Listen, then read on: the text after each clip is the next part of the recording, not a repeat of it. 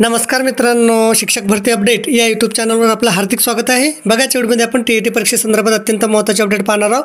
त्यासाठी व्हिडिओ संपूर्ण बघा. आणि आपण जर माझ्या चॅनलवरती नवीन असाल तर माझं चॅनल सबस्क्राईब करण्यासाठी खाली दिलेल्या सबस्क्राईब या लाल बटनवर क्लिक करा आणि समोरील बेल क्लिक करायला विसरू नका जेणेकरून तुम्हाला नवनवीन अपडेट मिळत राहतील. चला तर व्हिडिओ सुरू करू.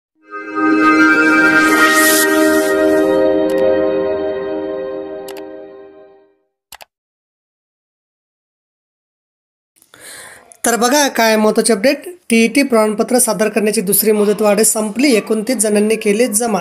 शिक्षक पात्रता परीक्षा उत्तीर्ण झालेल्या कर्मचाऱ्यांचे टी ई टी प्रमाणपत्र सादर करण्याची दुसऱ्यांदा दिलेली मुदतवाढ संपली असून एकूण एकोणतीस प्रमाणपत्र शिक्षण विभागाकडे जमा झाली आहेत.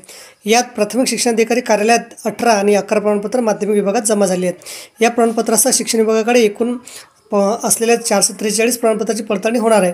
टी टी भ्रष्टाचार प्रकरण उजळत आल्यानंतर राज्य शासनाने तेरा फेब्रुवारी दोन हजार तेरानंतर अनुदानित अंशतः अनुदानित विना अनुदानित शाळात पाचवी ते आठवीपर्यंत रुजू शिक्षकांचे मूळ टी टी प्रमाण उत्तीर्ण प्रमाणपत्र पडताळणीचा निर्णय घेतला. महाराष्ट्र राज्य परीक्षा परिषदेच्या अध्यक्षांनी अध्यक्ष सर्व अधिकाऱ्यांना आदेश देऊन प्रमाणपत्र सादर करण्याचा आदेश दिला. त्यानुसार शिक्षण विभागाने प्रमाणपत्र जमा करण्याची प्रक्रिया राबवली. इयत्ता पाचवी ते आठवीच्या अनुदानित अंशता अनुदानित विनाअनुदानित शाळात पाचवी ते आठवीपर्यंत रुजू झालेल्या शिक्षकांच्या प्रमाणपत्राची पडताळणी होणार आहे.